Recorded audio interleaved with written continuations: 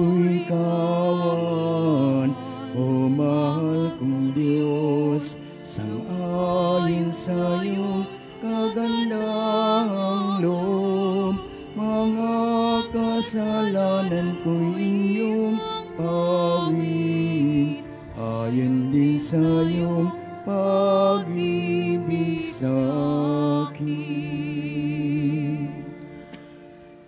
Sa ngala ng Ama at ng Anak at ng Espiritu Santo, Amen. ang pagpapala ng ating Panginoong Heso Kristo, ang pag-ibig ng Diyos Ama, at ang pakikipagkaisa ng Espiritu Santo naway sumainyong lahat. At sumain niyo rin.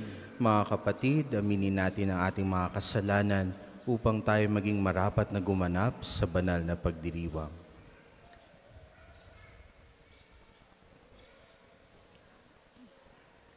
Inaamin ko Sa makapangyarihan Diyos at sa inyo mga kapatid, na lubha akong nagkasala sa isip, sa salita at sa gawa, at sa aking pagkukulang, kaya isinasama ko sa mahal na Berheng Maria, sa lahat. ng mga anghel at mga banal, at sa inyo mga kapatid, na ako'y panalangin sa Panginoong ating Diyos. Kaawaan tayo na makapangyarihang Diyos, patawarin tayo sa ating mga kasalanan, at patnubayan tayo sa buhay na walang hanggan. Amen.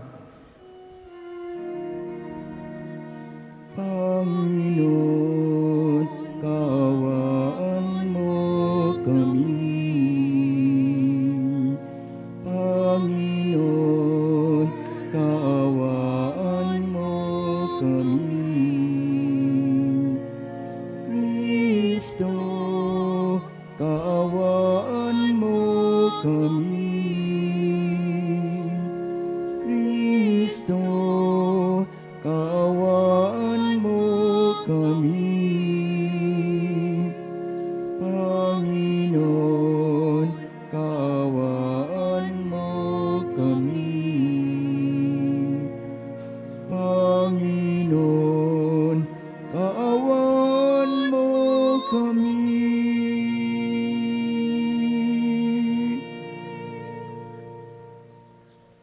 Manalangin tayo.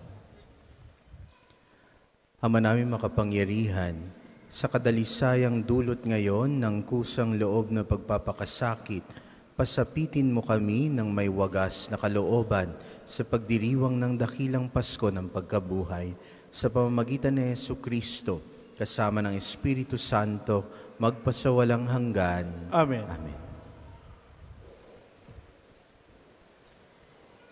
Pagbasa mula sa aklat ng Henesis. Mas mahal ni Israel si Jose kaysa ibang mga anak, sapagkat matanda na siya nang ito'y isinilang. Iginawa niya ito ng damit na mahaba at may manggas. Dinamdam ito ng kanyang mga kapatid at ayaw nilang pakisamahang mabuti si Jose. Nasa Sikim ang mga kapatid ni Jose at doon inaalagaan ang kawan na kanilang ama. Sinabi ni Israel, Gumaya ka at sumunod sa iyong mga kapatid. Sumunod si Jose at natagpuan ang mga kapatid sa Dotan. Malayo pa siya'y natanaw na ng mga ito. Nagkaisa silang patayin siya. Sinabi nila, Ayan na ang mapanaginipin. Patayin natin at ihulog sa balon at sabihing hinila ng mabangi- mabangis na hayop. Tingnan natin kung ano ang mangyayari sa kanyang mga panaginip. Narinig ito ni Ruben at binalak na iligtas si Jose.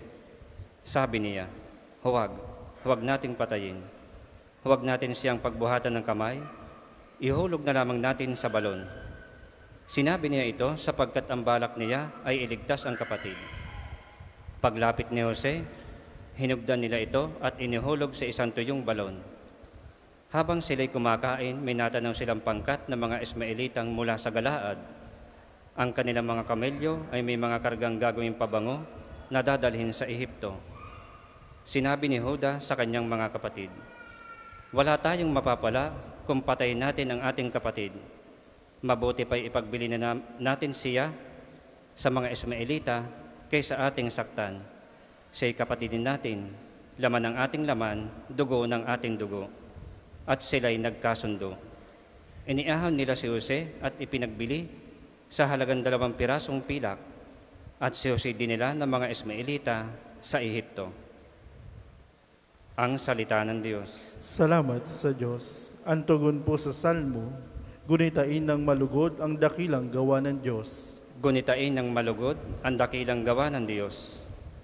Sa lupain nila'y mayroon tagutom na ipinarating. Itong Panginoon kung kaya nagdahop sila sa pagkain. Subalit ang Diyos sa unahan nila'y may sugong lalaki. Tulad ng alipin, ibinenta nila ang batang si Jose. Gunitain ng malugod ang dakilang gawa ng Diyos. Mga paan nito'y nagdanas ng hirap ng ito'y ipangaw. Pati liig niya'y pinapagkwintas ng kulyar na bakal. Hanggang sa dumating ang isang sandali na siya'y subukin nitong Panginoon na siyang nangakong siya'y tutubusin. Gunitain ng malugod ang dakilang gawa ng Diyos. Ang kinasangkapan niya'y isang hari siyang nagpalaya. Pinalaya siya nitong haring ito na namamahala. Doon sa palasyong tahanan ng hari, pinapamahala. Sa buong lupain, si Jose ginawa niyang katiwala. Gunitain ng malugod ang dakilang gawa ng Diyos. Magsitayo po lahat.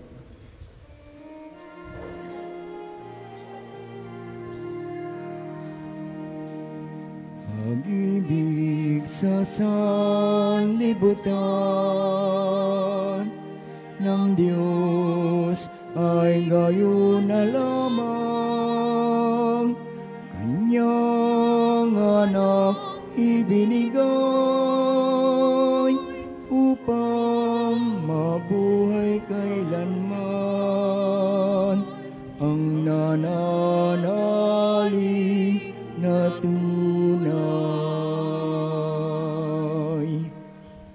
Sumainyo ang Panginoon, At sumain niyo rin. ang mabuting balita ng Panginoon ayon kay San Mateo. Papuri sa iyo, Panginoon. Noong panahong iyon, sinabi ni Jesus sa mga punong saserdote at matatanda ng bayan, Pakinggan ninyo ang isa pang talinghaga. May isang taong nagtanim ng ubas sa kanyang bukid at ito'y binakuran niya. Gumawa siya roon ng pisaan ng ubas at nagtayo ng isang mataas na bantayan. Pagkatapos, kanyang iniwan sa mga kasama ang ubasan at siya'y nagtungo sa ibang lupain. Nang dumating ang panahon ng pitasan, pinapunta ng may-ari ng ubasan ang kanyang mga alipin upang kunin sa mga kasama ang kanyang parte. Ngunit sinunggaban ng mga kasama ang mga alipin. Binugbog nila ang isa, pinatay ang ikalawa, at binato naman ang ikatlo. Pinapunta uli ng may-ari ang mas maraming alipin. Ngunit gayon din ang ginawa ng mga kasama sa mga ito. Sa kahuli-hulihay, pinapunta niya ang kanyang anak na lalaki. Igagalang nila ang aking anak, wika niya sa sarili. Ngunit nang makita ng mga kasama ang anak sila'y nag-usap-usap, ito ang tagapagmana. Hali kayo, patayin natin nang mapasa atin ang kanyang mamanahin. Kaya't siya'y sinunggaban nila, inilabas sa ubasan at pinatay. Pagbalik ng may-ari ng ubasan, ano kaya ang gagawin niya sa mga kasamahang iyon? Sumagot sila, lilipulin niya ang mga buhong na iyon at paaalagaan ang ubasan sa ibang kasama na magbibigay sa kanya ng kaparte sa panahon ng pamimitas. Tinanong sila ni Jesus, hindi pa ba ninyo nababasa ang talatang ito sa kasulatan? Ang batong itinakwil ng mga tagapagtayo ng bahay ang siyang naging batong panulukan. Ginawa ito ng Panginoon at ito'y kahanga-hanga. Kaya nga sinasabi ko sa inyo, hindi na kayo ang paghaharian ng Diyos, kundi ang bansang maglilingkod sa Kanya ng tapat. Narinig ng mga punong saserdote at ng mga pariseo ang mga talinghaga ni Jesus at naunawaan nilang sila ang pinatatamaan niya. Dadakpin sana nila siya, ngunit natakot sila sa mga tao sapagkat kinikilala ng mga ito na propeta si Jesus. Ang mabuting balita ng Panginoon. Pinupuri ka namin, Panginoong Heso Kristo. Ngayong araw na ito, ah, na ating po napakinggan sa Ebanghelyo itong mga mga wicked servants. Yung may-ari ng ubasan ng isang bukid, nagtanim. Pinaghirapan po niya, mahirap. Mahirap gawin po yon, ubasan. At hindi lang po yon, gumawa pa po siya ng pisaan ng mga ubas. At hindi lang yon. Naglagay pa siya ng watchtower, bantayan. Binakuran ang lahat. Tapos umalis, iniwan sa mga kasama. At ayun ang ginawa. Noong panahon na ng pamimitas, nagpadala siya ng alipin, kunin mo ang aking kaparte. Pagdating doon sa ubasan, anong ginawa?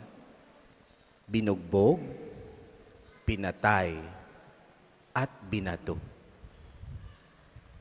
Nagpadala ulit ng alipin, mas marami this time. Anong ginawa? Binugbog, pinatay, binato. Nagpadala naman ng sariling anak para masindak, kumbaga. Anong ginawa? Itinapon at pinatay.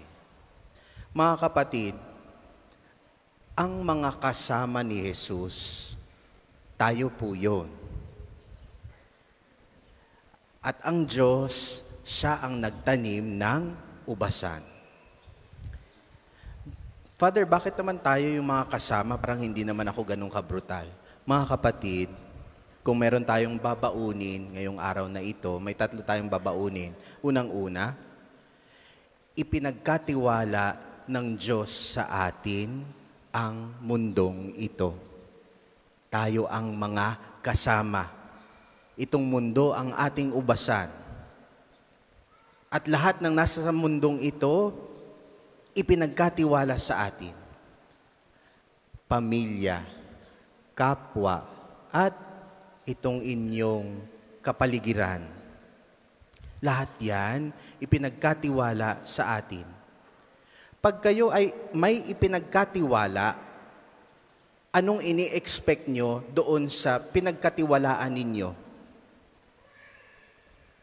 Trustworthy, dependable, walang gagawing kalukuhan. Di ba? Dahil pinagkakatiwalaan ninyo. At ganun din, tayo pinagkatiwala, pinagkatiwalaan tayo ng Diyos, ng Kanyang nilikha. Tao, kalikasan, lahat yan. Kaya naman, mga kapatid, kapag inyo namang pinabayaan ang lahat ng ito, hindi tayo katiwa-tiwala. Ay, Father, inaalagaan ko naman ang aking pamilya. At ako'y nagtatrabaho. Wala na akong oras para sa iba. Eh, that's precisely what love is. Yung extra. If you are overwhelmed with everything in the, with all oh, with all other things in this world, your work, your family, your friends, eh, overwhelmed ka na. Yung extra mong gagawin, that is love. Di ba tayo po ay sinusukat sa mundong ito sa kahuli-hulihan? We will be judged by how much we've loved. Ipinagkatiwala silang lahat sa atin. Kalikasan, nandito tayo sa pambansang dambana ni Santo Padre Pio. May dala tayong water bottle. Meron tayong dalang mga snacks. Mapapaupo sa isang gilid diyan. Pagkatapos kainin, iiwanan. Salamat sa Diyos, meron tayong mga tagapaglinis. Pero nakakalimutan natin, ito'y nilikha ng Diyos, ito'y pinagkatiwala sa atin. Ano nga ulit? Pag may pinagkatiwala sa inyo, dapat iniingatan. Hindi po ba? Kung paano nyo ini-expect na gumalaw ang isang pinagkakatiwalaan, dapat ganun din tayo gumalaw may responsibilidad po tayo. Yun ang una. Pangalawa, katulad ng nagtanim, nag expect po yan ng bunga. Nagtanim po siya. So, may bunga. May pinagkatiwala sa atin. Anong pinagkatiwala sa atin ulit? Ang ating kapwa, ang kalikasan, ang ating pamilya. Pagkapwa, hindi lang basta-basta natin bibigyan. Kapag nangangailangan, hindi hindi basta-basta bibigyan lang natin ng limos. Tuturoan natin na maghanap buhay. Bibigyan natin ng oportunidad. Mas maganda po iyon. Magbubunga iyon. Mas magbubunga iyon. Kapag kayo'y pinagkatiwala ng magkaroon ng asawa, hindi po yan slave. Asawa po iyan. Your partner has to grow kung sa anumang, ah, anumang aspeto ng buhay. Kaalaman, sa pananampalataya, lalo't higit. No? Ganon. Dapat mag-bear fruit. Dapat mag-bear fruit. Kahit na ang isa ay nasa bahay, ang lalaki o babae man, parehas dapat kayong umaangat. Dapat mag-bear fruit. Ang anak ninyo, tuturuan po ninyo, gagabayan po ninyo. Para sa paglaki nila, hindi nyo na hahayaan, hahayaan nyo na po sila dahil tinuruan nyo na ang lahat ng kabutihan sa kanila. Magsisimba na sila on their own. Hindi na sila pipilitin. Hindi na sila cuddled masyado. They will do everything on their own. Bakit? Inihanda nyo sila para sa daan. Hindi nyo inihahanda ang daan para sa kanila bear fruit. At bilang panghuli, sino ulit ang nagtanim? Yung may-ari ng ubasan. Inyo ba yan? Lahat ng iyan? No. It's not your vineyard. Eh, Father, ako pinaghirapan ko ito. Ako ang nagtayo ng kumpanyang ito with my own bare hands. Pinaghirapan ko ito at walang sino mang makapagsasabi sa akin otherwise. Yes, okay. Pero did it bear fruit? Ipinagkatiwala yan sa iyo. Bakit? Madadala mo ba yan sa kabilang buhay? That company of yours? Yung pera nyo na yan? Hindi nyo madadala yan sa kabilang buhay. Pinahiram lang yan ng Diyos sa inyo so that you may bear fruit at ang inyong kapwa. Madala niyo po lahat sila sa langit. Kasi kung madadala niyo naman sa susunod na buhay, ay inyong-inyo nga talaga. Kung madadala ninyo. Kaya mga kapatid, mapagkakatiwalaan ba kayo? That's what the Lord is asking you right now. Kung paano kayo nagtitiwala sa pinagkakatiwalaan ninyo dapat kayo din ay katiwa-tiwala. Dapat sa buhay ninyo, kitang-kita na kayo ay katiwa-tiwala. Para sa maghahandog ng sobre, pakihulog na lamang po sa buslo.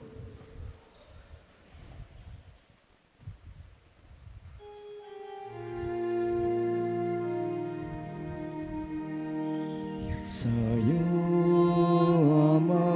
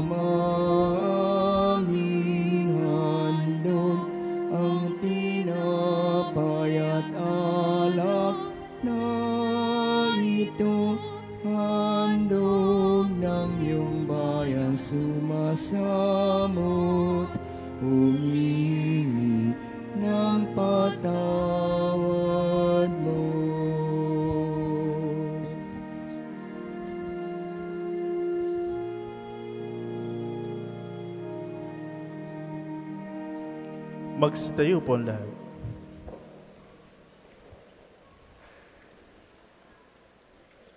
Manalangin kayo mga kapatid upang ang paghahain natin ay kalugdan ng Diyos sa mga makapangyarihan. Tanggapin nawa ng Panginoon itong paghahain sa iyong mga kamay, sa kapurihan niya at karangalan sa ating kapakinabangan at sa buong sambayan niyang banal.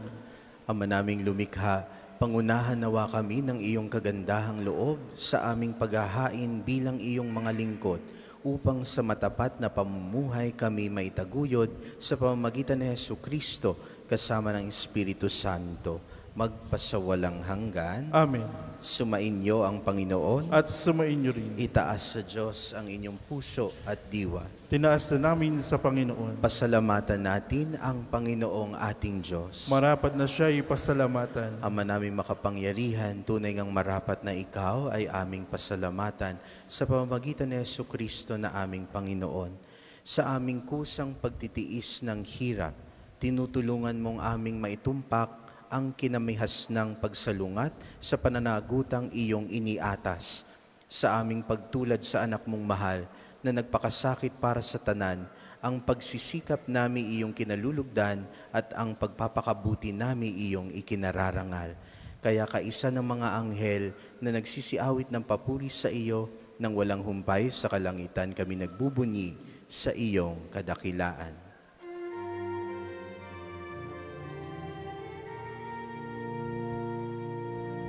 Banal ka poong may kapal, banal ang iyong pangalan, banal ang iyong kaharian. Langit lupa'y nagpupugay sa iyong kadakilaan. Dinarakila ng lahat ang naparito mong anak. Siyang nagmulat sa bulan. Sa pilay ay nagpalakad at nakiramay sa lahat.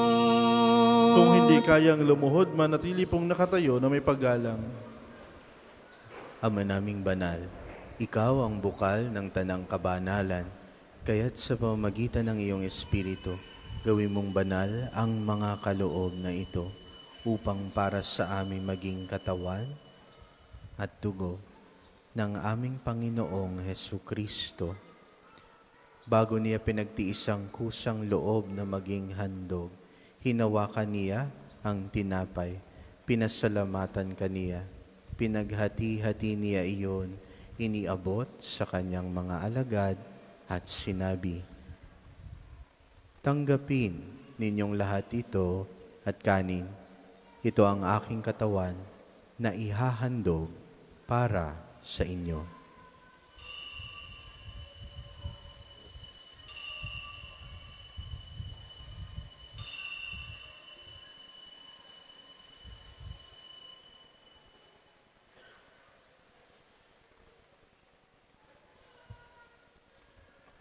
Gayun din naman noong matapos ang hapunan, hinawakan niya ang kalis. Muli kaniyang pinasalamatan. Iniabot niya ang kalis sa kanyang mga alagad at sinabi, Tanggapin ninyong lahat ito at inumin. Ito ang kalis ng aking dugo ng bago at walang hanggang tipan. Ang aking dugo na ibubuhos para sa inyo at para sa lahat sa ikapagpapatawad ng mga kasalanan. Gawin ninyo ito sa pag-alala sa akin.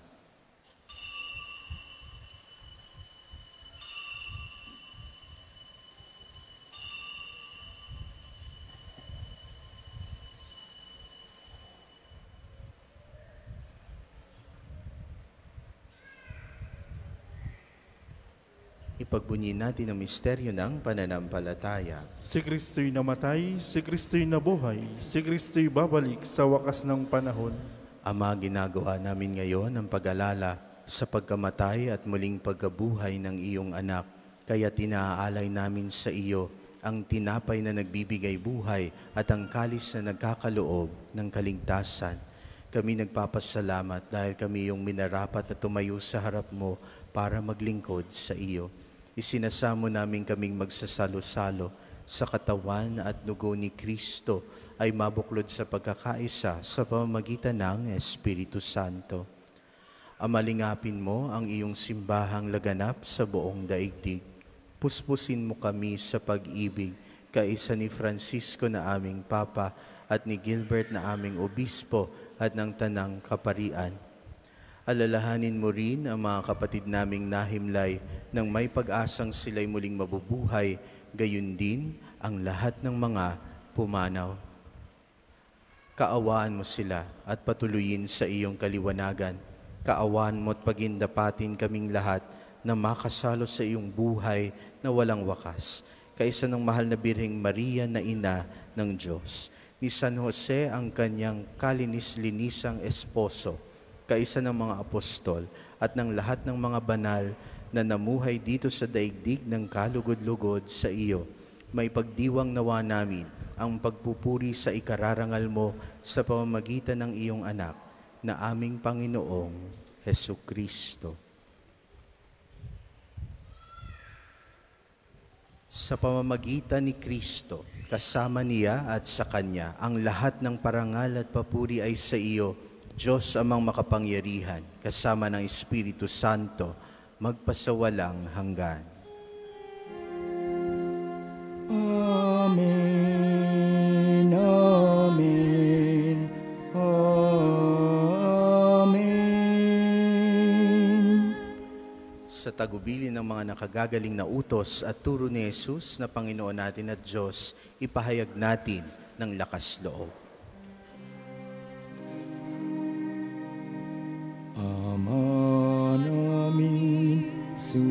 Sumasalangit ka. Sambahin ang ngalan mo. Mapasa amin ang kaharian mo. Sundin ang loob mo dito sa lupa para nang sa langit.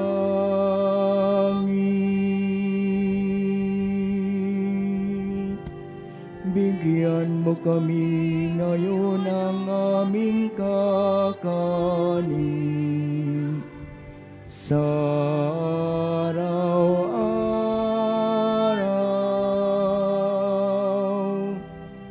at patawarin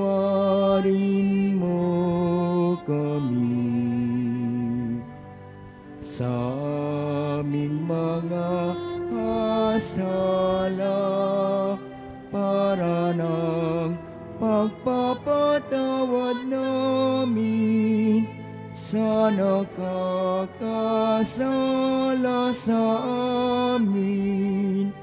At huwag mo kaming ipahintulot sa tukso at iadya mo kami sa lahat ng masama.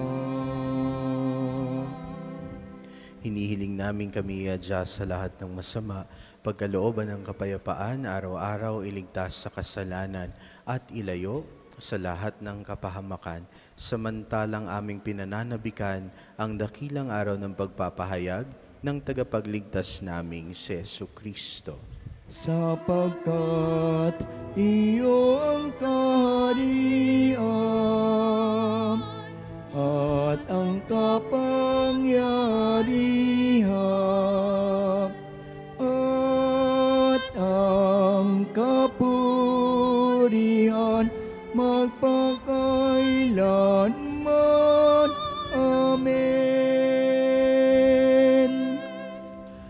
Panginoon Yesu Kristo, sinabi mo sa iyong mga apostol, kapayapaan ang iniwan ko sa inyo, ang aking kapayapaan ang ibinibigay ko sa inyo. Tunghayan mo ang aming pananampalataya at huwag ang aming pagkakasala. Pagkalooban mo kami ng kapayapaan at pagkakaisa ayon sa iyong kalooban, kasama ng Espiritu Santo, magpasawalang hanggan. Amen. Ang kapayapaan ng Panginoon ay laging sumainyo. At sumainyo rin. Magbigayan kayo ng kapayapaan sa bawat isa. Kordero ng Diyos na nag-aalis ng mga kasalanan ng sanlibutan, maawa ka sa amin.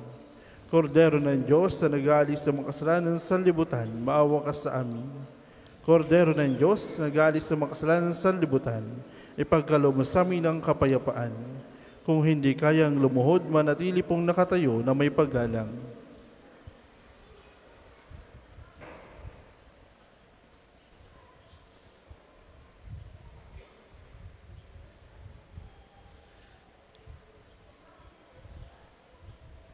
Ito ang kordero ng Diyos. Ito ang nag-aalis ng mga kasalanan ng sanlibutan. Mapapalad tayong inaanyayahan sa kanyang piging. Panginoon, hindi ako karapat dapat na magpatuloy sa iyo, ngunit sa isang salita mo lamang ay gagaling na ako.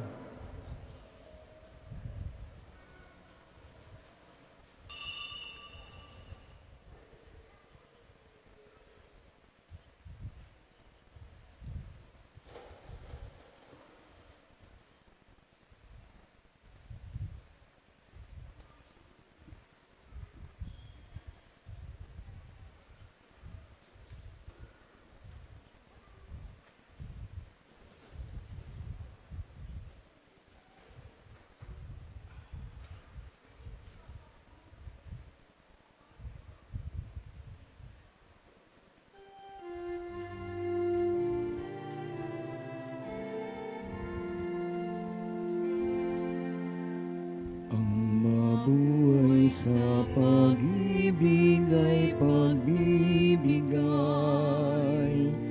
na di nagtatansya ng halaga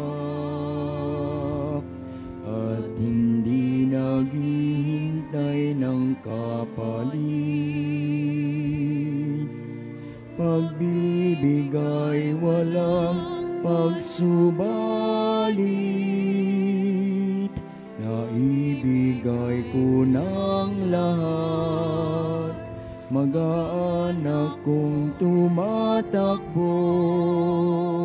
Salat man ako sa lahat. Salat man ako sa lahat. Ang tangi kong yaman ay mabuhay sa pag-ibig. Ang mabuhay sa pag-ibig ay paglalayag payapat may galak Sa maalab na udyok ng pag-ibig. Hinahanap kita sa aking kapwa At siyang tanging tumatanglaw. Bituin sa aking patnubay Diwa sa paglalakbay Sandig at lakas at tibay Laging awit ang sagisag ng mabuhay sa pag-ibig. Ang mabuhay sa pag-ibig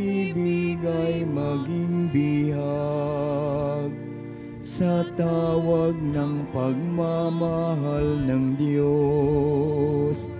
Papawiin niya lahat ng panindig. Sa gunit at dahas ay limuti. Siling Kayamanan ka ng puso ko. Gandang balat ikaw pag-asang natatanaw ang pumanaw sa sarili ay mabuhay sa pag-ibig.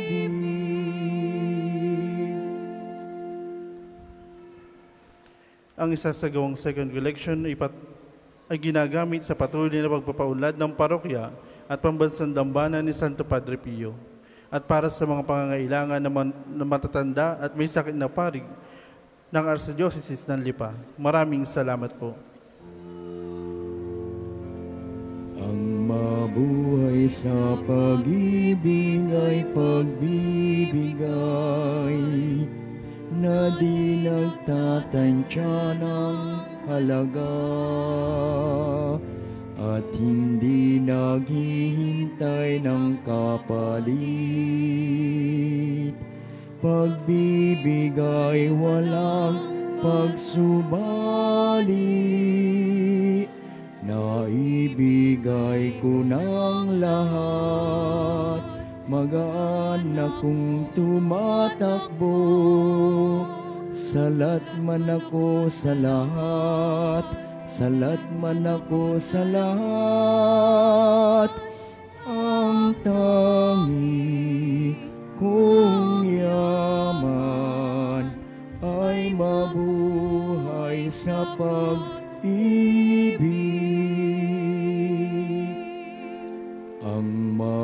mabuhay sa pag-ibig ay paglalayag.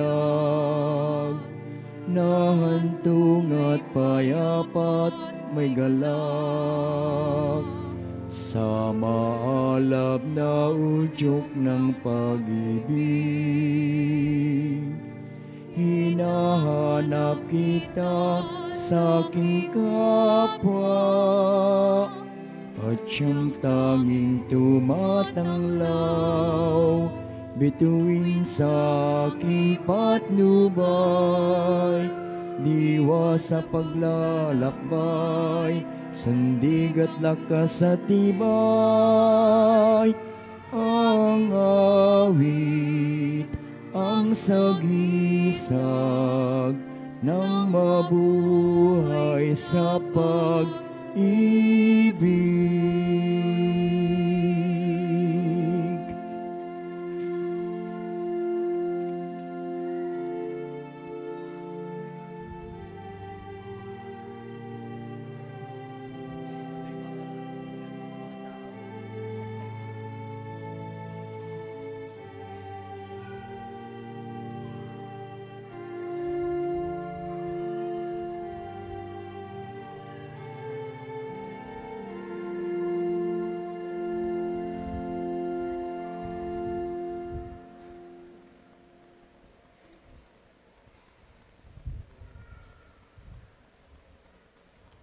Tayo po'y magsitayo.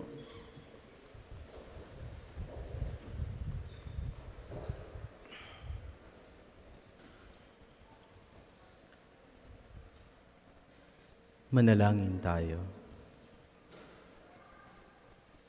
Ama namin mapagmahal, pagkatanggap namin sa banal na pakikinabang, marapatin mong tahakin namin at sapitin ang kaligtasang iyong ibinibigay sa amin.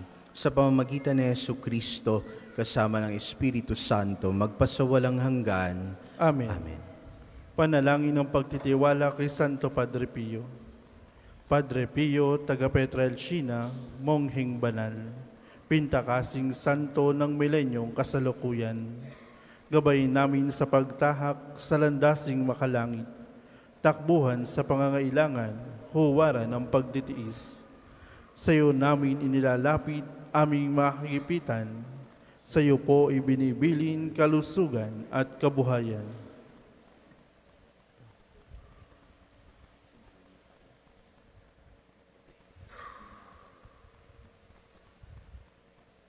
Di man karapat dapat, kami po ay pagbigyan, bendisyonan at basbasan, maging ganap sa buhay.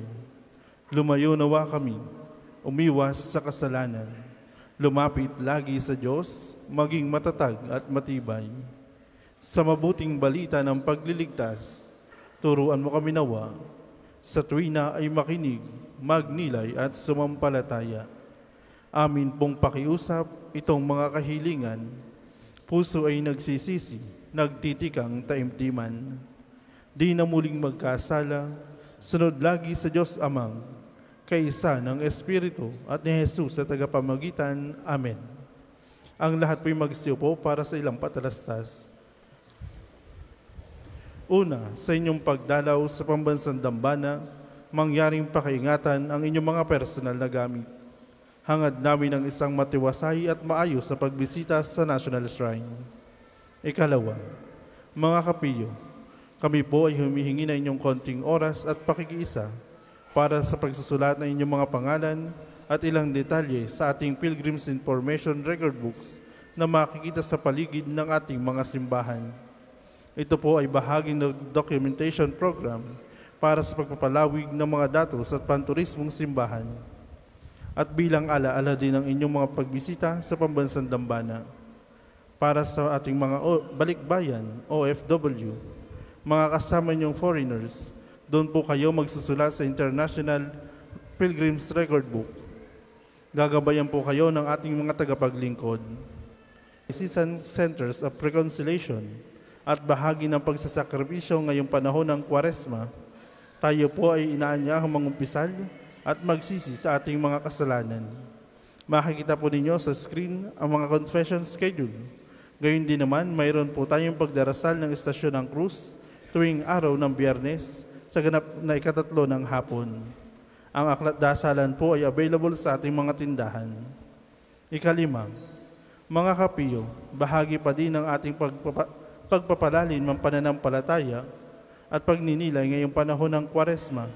Ang ating lakbay parokya ay gagawin natin sa ilang mga simbahan sa Pampanga sa darating na March 21, 2024.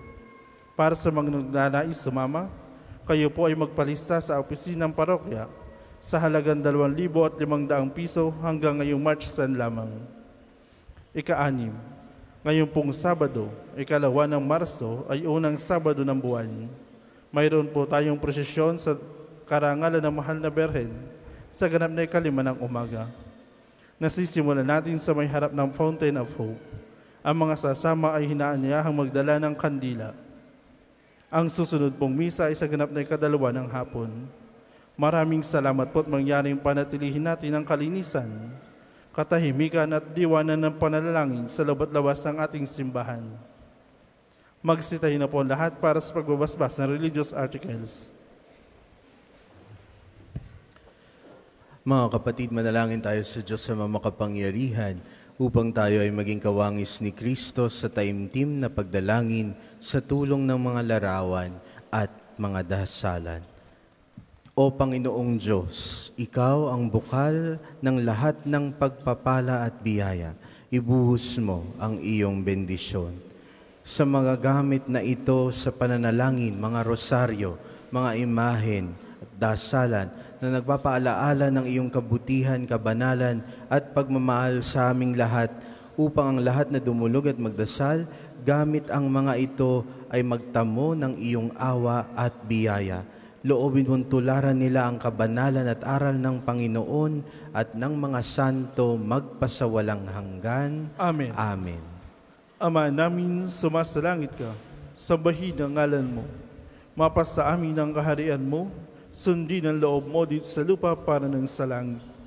Bigyan mo kami ngayon ng aming kakanin sa araw-araw at patawarin mo kami sa aming mga sala para na ang pagpapatawad namin sa nagkakasala sa amin.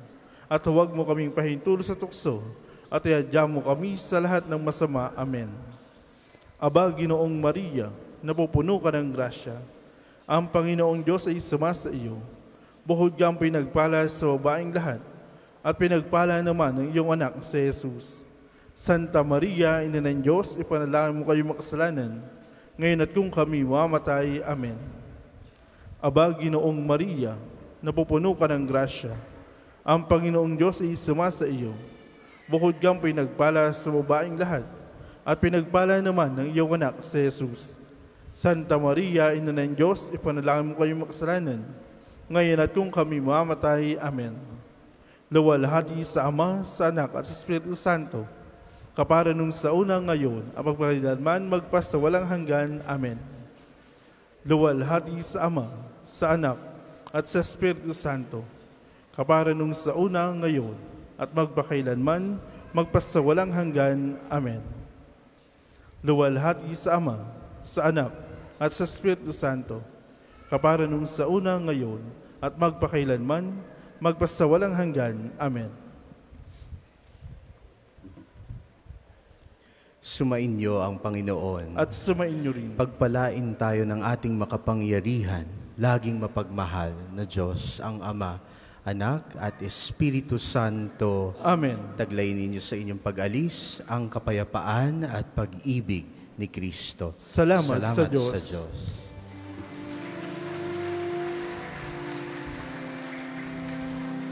Walang sino man ang nabubuhay para sa sarili lamang. Walang sino man ang namamatay para sa sarili lamang.